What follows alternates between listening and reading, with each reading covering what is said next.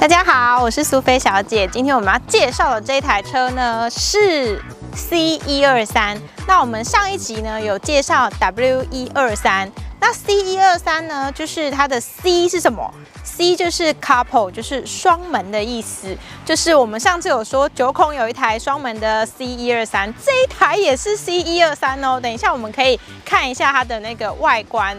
然后呢，就是这一台 C 一二三是。呃，二三零 C 一就是两千三百 CC，然后它是双门的，就是 C，然后一就是机械喷射引擎。那 W 一二三呢，就是它是冰世界的平民版。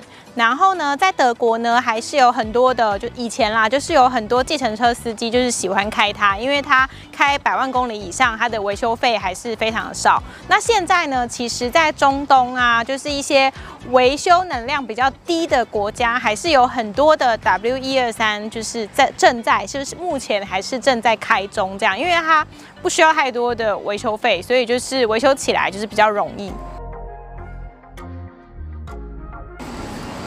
我们今天要介绍的这台是 C 一二三，那 W 一二三呢？它是就是一九七五年到一九八六年间生产的车子，那总总共大概生产了两百七十万辆。那呃，一九七五到一九八六年大概是民国六十四年到七十五年间，那这段时间呢，在台湾是农业化，就是正要变成就是商业化的这个时期，所以呢，就是会有很多人。在这个时候呢，就是探短金，因为刚好经济起飞，然后呃，大家就是赚钱赚了很多，所以呢，就是很多的人呢就想要拥有一部就是 W 一二三的四门的车子。那其实四门的车子开起来就已经非常非常厉害了。那这一台呢是 C 一二三，是双门的，就是双门的是呃，就是比四门在更高阶的，所以它就是更加的珍贵。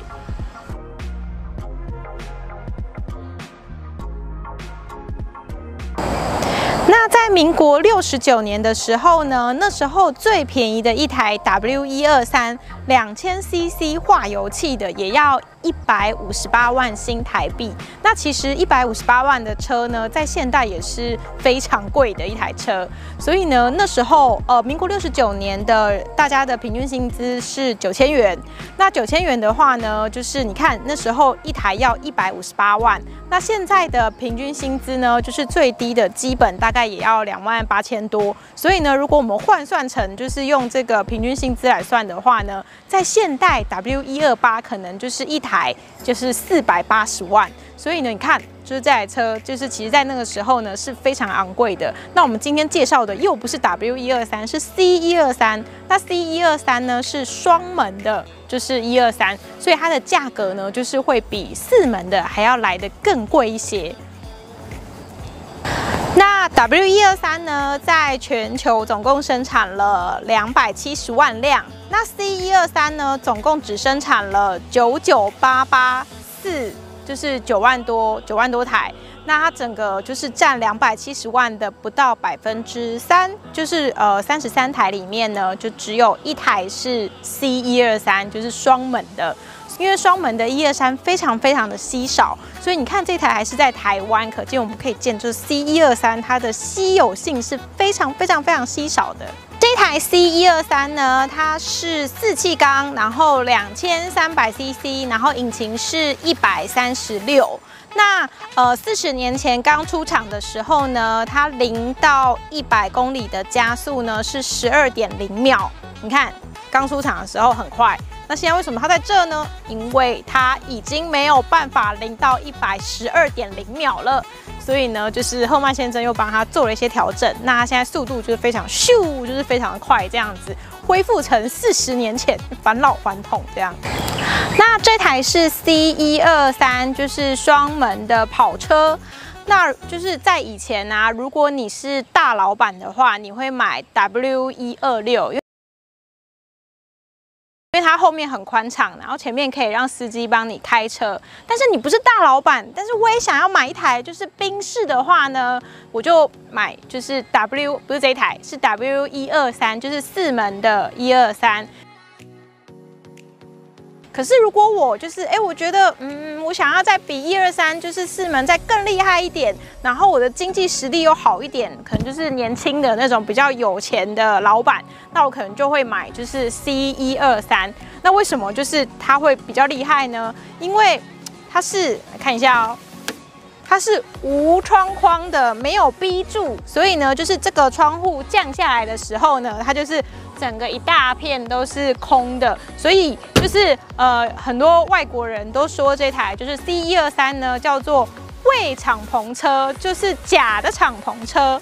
那伪敞篷车呢是 fake comfortable，是这样吗？那就是这个假的敞篷车的好处在哪边呢？就是真的敞篷车我们要先棚嘛，那先棚呢，其实有时候那个棚子老化，或者是你没有关好的话，它会漏水。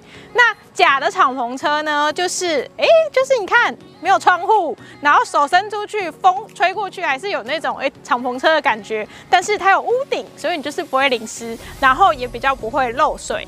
那这个是就是 C 一二三，然后呢 C 一二三当然是还有更厉害的嘛，就是如果我觉得 C 一二三没比赛太 low，因为它比较短，就是看起来不是很大气，那我可能就是会买。R 一零七或者是 C 一零七，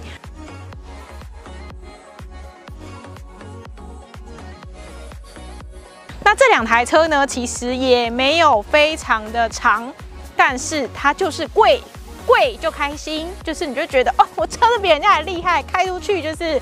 整个线条就不一样。那 R 一零七跟 C 一零七呢，就是有很多的大老板跟明星啊、港星，像李小龙，他的第一台车就是 C 一零七。所以呢，其实那台车呢，就是呃，不是只有昂贵而已，就是它的线条整个流线性，就是你就觉得啊，这看起来就是非常的经典。然后我们也有影片是介绍，就是 R 一零七跟 C 一零七的影片，就是大家也可以去看一下，就是我们之前的介绍。然后，如果你觉得就是一零七还不够厉害。你也可以买 C 一二六，就是 W 一二六的双门款这样子。那 C 一二六呢，就是它的后面呢是比较宽的，而且它的长度呢比较长，就是比较大的，就是双门的跑车。然后它的价格呢，就是呃一定比这些车都来得更昂贵，因为它的稀有性也非常少。然后我们来介绍一下 C 一二三的外观。那这台车呢，它是就是哦，前面的这个车灯呢，其实是欧规的。我们可以看到它是长的，你看，只要这样长的一大片的，它就是欧规的车子。然后呢，这台车有特别加装了这个是那个雾灯吗？对，然后你可以，我们可以就是近一点看它，我觉得它需要。我们需要一个特写，就是因为它这个加装的雾灯真的很 special，是它这个壳啊上面还有这个宾士的 logo，所以它看起来就很厉害。对，那我们来介绍一下 C 一二三这一台车的内装。那这台车的内装呢是，就是我们可以看一下，就是你看有很多就是这种木纹的。那 W 一二三呢，它呃四门的一二三呢，它里面主要的全部都是塑胶的内装。然后 C 一二三呢，因为它双门跑车嘛，那比较稀有又珍贵，所以呢我们要展现一下它的珍贵的感觉，所以它里面呢其实都是木纹的，全部都是木头的这些。然后，呃，这台车呢，它是日规的，所以我们怎么看呢？就是日规的车，我们可以看一下，就是它车子旁边的这个布面，我们可以看一下。就是 C 一二三呢，跟双门跟四门的差别在双门的呢，它是皮质的，然后有木头木头纹路，然后日规的通常会有布，就是你可以看那边有格子格子的布，通常就是呃欧洲跟日本都蛮喜欢，就是里面有绒布啊，或者是格纹，因为这样感觉比较。有嗯，就是气质吗？就是比较有气质的感觉。但是通常美规啊，或是像是亚洲国家呀，都会比较喜欢里面是皮质的。然后这台车的车主呢，就是把这个车子呢，就是换成了两个赛车座椅这样。那为了要符合赛车的感觉嘛，所以必须找赫曼先生，让它变成有赛车的感觉的样子。那我们要看一下，就是里面的这个地方，我们通常要介绍一下它这个龙骨吗？这叫龙骨吗？就是这个地方啊，龙船。龙船，我们来看一下这个地方，就是呃 C 一二三跟 W 一二三的这个地方是呃有些地方是不太一样的。就是这边是灯，然后这个呢也是一样，这是两个冷气口，就是圆圆的，像篮球一样。然后这个是调那个风风速，风大风小这样子。然后呃这个是冷气，然后这边是有暖气，然后这边也是调，就是储物的或者是就是一般的，就是往这边调这样。然后它有一个原厂的收音机，就是它是放卡带的，放卡带。所以呢，就是如果你现在想要听卡带的，就是还是可以放。那卡带要去哪里买？卡带要去哪里买？二手书。对，卡带在二手书店有卖。所以呢，就是如果那只能听老歌哎，因为新歌没有卡带。好了，这样才有开就是古董车的 feel。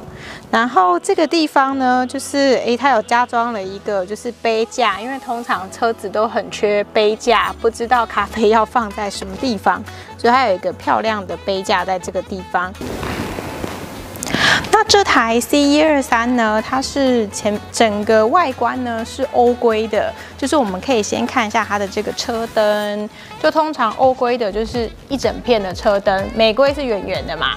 然后呢，它一样就是有这个，它是有那种环绕式，就是四边都可以看到的那个方向灯，所以从侧边就可以看到了。然后这边有一个比较特别的是，这个是加装的雾灯。然后我觉得它超级无敌的虚华，因为它这边还有一个宾士的 logo，然后它还给它一个铁窗，感觉是怕灯被偷。其实它是想要打出来的时候有宾士的 logo，就是在墙上或者在路上，这样大家才知道宾士车来了。然后我们可以看一下它的颜色，我觉得它的颜色就是很 special，因为呃 W 一二三一二三是在普普风的年代生产的，所以呢它有很多不同的颜色，就是比较虚华的颜色。那这个是有一点亮亮的那种亮亮的蓝色，然后像是那个 Lady Gaga 的，它是 Baby Blue 的蓝色，就是没有像这样这种亮亮的那种粉的那种颜色这样子。然后呢，这台车呢是双门的，然后它是没有框的，就是它的这个，对，它的玻璃是没有框的。然后两个降下来以后，就会变成没有逼住，然后变成一个很大的这个框。就是这台车的重点。为什么要买它？因为比较趴，就是这样比较大，然后大家都可以看到里面的人正在开车。然后呢，我们可以看一下后面这边。然后我们看一下后面的这个地方，就是呢，这是它的后面的灯。然后这个地方有个不太一样的设计，就是这里，就是它的那个两个灯的中间这边还有灯，所以这个灯是什么？倒车灯吗？这个灯是要亮什么的？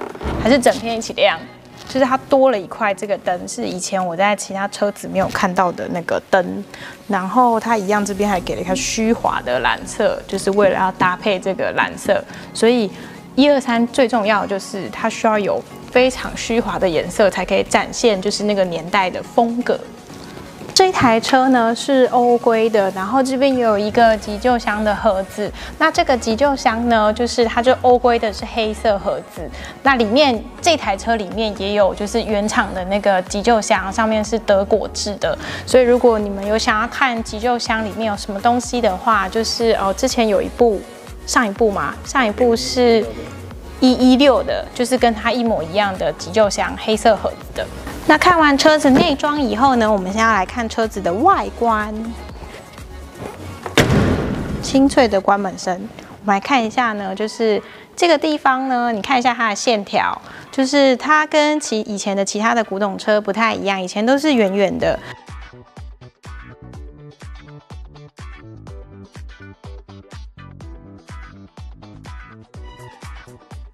那一二三呢？它是有比较多这种就是菱形的这个菱形的弧度，所以它长得像是金刚战士。然后你看它这边所有的弧度都是这样有棱有角的弧度这样子。就是我们可以看到前面，有没有看到前面？对，然后它的那个后照镜呢，后面是就是银色的金属，然后它的进气孔呢是在这个地方前面，就是它进气筒看起来其实还蛮典雅的，它需要一个特写。